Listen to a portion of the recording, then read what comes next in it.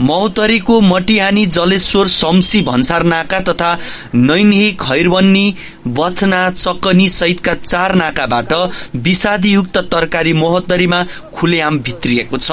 भारतका विभिन्न राज्यमा उत्पादन हुने आलु मूला भिण्डी साग कागती भेन्टा काउली बन्दा भेडे खोर्सानी लगायतका विषाक्त तरकारी नेपाल आउने गरेको हो। करेला गोलबेडा पर्वल सिमी बोडी मटर लगायतका तरकारी समेत परीक्षण बिनै र चेक जाँच नगरी निर्वाध दैनिक महोत्तरीका विभिन्न भन्सार नाकाबाट आयत हुने गरेको छ। चालू आर्थिक वर्षको छ महिनामा भारतबाट एक अर्ब अठार करोड़ मूल्य बराबरका कृषि उत्पादन आयत भएको महोत्तरीको जलेश्वर भन्सार कार्यालयले जनाएको छ। उपकरणको अभावमा चेक जाँचको औपचारिकता मात्रै पूरा गरेर भारतबाट आयत हुने सामानलाई उपभोग गर्न योग्य भएको ठर्याउनु पर्ने अवस्था भन्सार नाकाको रहेको छ। हामी कहाँ ल्याबको त्यति राम्रो फेसिलिटी छैन।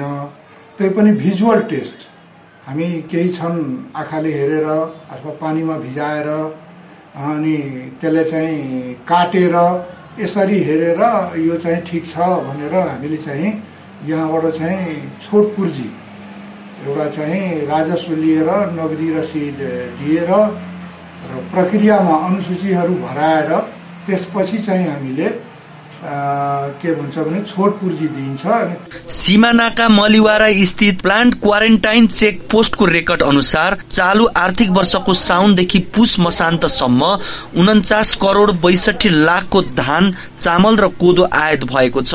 सोही भन्सारबाट चौवालिस करोड़ छत्तीस लाखका हरिया तरकारी तथा उन्नाइस करोड़ अठाइस लाख बराबरको फलफूल आयात भएको छ। तरकारी फलफूल र खाद्य पदार्थ आयात गर्दा नाका र भन्सार बिन्दुमै वैज्ञानिक रूपमा परीक्षण गर्ने व्यवस्था नहुँदा पनि समस्या भएको छ। अदालतले दोस्रो र तेस्रो मुलुकबाट तरकारी र फलफूल आयात गर्दा अनिवार्य रूपमा परीक्षण गराएर मात्रै भित्र्याउन आदेश दिए पनि त्यसको कार्यान्वयन हुन सकेको छैन।